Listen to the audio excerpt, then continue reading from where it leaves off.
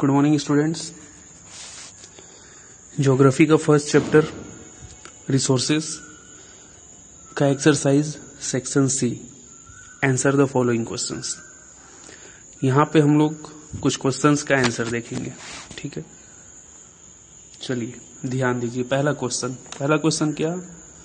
Why is there are need for resource planning why are there why is there a need for resource planning give two reason resource planning की ज़रूरत क्या है?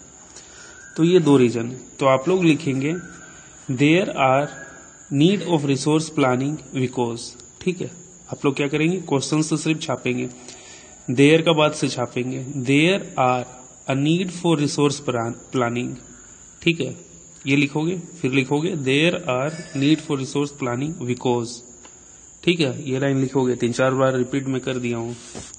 ये line लिखोगे और उसके बाद लिखोगे ये। फ़र्स्ट जो है rapid population growth has resulted in over utilization of the natural resources मतलब कि पॉपुलेशन जो इतना तेज़ी से बढ़ रहा है, उसके हिसाब में हमारा नेचुरल रिसोर्सेज नहीं ना बढ़ रहा। समझे? तो दोनों का पेस मेंटेन रहना चाहिए, लेकिन क्या है कि पॉपुलेशन ज़्यादा तेज़ी से बढ़ रहा है, लेकिन रिसोर्स अपना नहीं बढ़ता, बहुत स्लो बढ़ता, ठीक है? तो रैपिड पॉपुलेशन ग्रोथ हुआ, बहुत पॉपुलेशन ग्रोथ हो गया तो उसके हिसाब से नेचुरल रिसोर्सेस जो है बढ़ा नहीं है।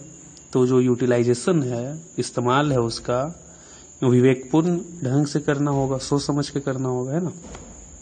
दूसरा point to use resource to use resources judiciously otherwise mankind will have to face its consequences अगर हम लोग रिसोर्स को विवेकपूर्ण जुडिशियसली है ना, सूझबूझ के साथ इस्तेमाल नहीं करेंगे तो इसका जो परिणाम होगा वो भी भुगत, भुगतना होगा। मान लो वाटर है तो वाटर को हम लोग अच्छा से यूज़ नहीं करें, सिर्फ़ पॉल्यूट ही करें, ठीक है?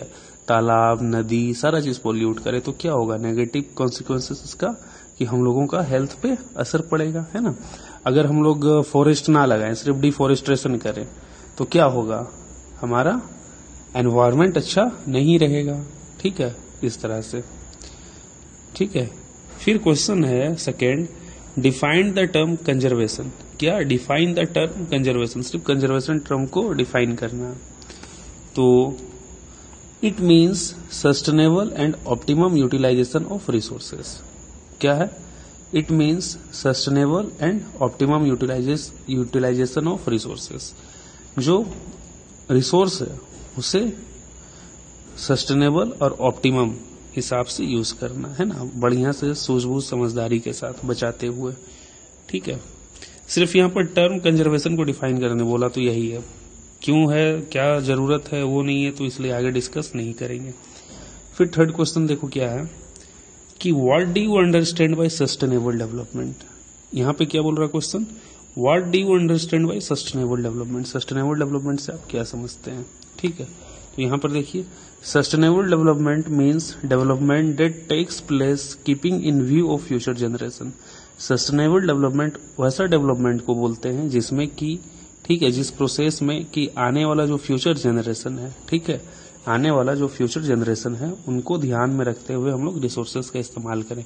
ऐसा ना हो कि हम लोग पूरा रिसोर्सेज इस्तेमाल कर लें, पूरा पेट्रोल इस्तेमाल कर लें, पूरा कोल इस्तेमाल कर लें वाटर को पोल्यूट कर दें एयर को पोल्यूट कर दें, और हम लोग एक समय के बाद धरती छोड़ के ऊपर की ओर चले जाए, भगवान की और ठीक है तो फिर धरती पे जो जनरेशन रहेगा, वो तो हेल्दी एनवायरनमेंट उसको नहीं मिलेगा, फिर रिसोर्सेस नहीं मिलेगा। ठीक है तो ये हम लोगों का मॉरल ऑब्लिगेशन है है ना? नैतिक जिम्मेवारी है कि आने वाला जो कमिंग जनरेशन है, उसके लिए रिसोर्सेस को छोड़ें, है ना? तो ये कब होगा? जब हम लोग अच्छा से, समझदारी से इसका इस्तेमाल करेंगे तब।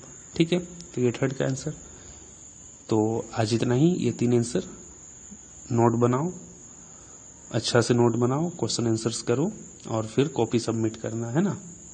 तो ठीक है, फिर मिलेंगे नेक्स्ट लेक्चर में आगे के क्वेश्चन के साथ। Okay bye thank you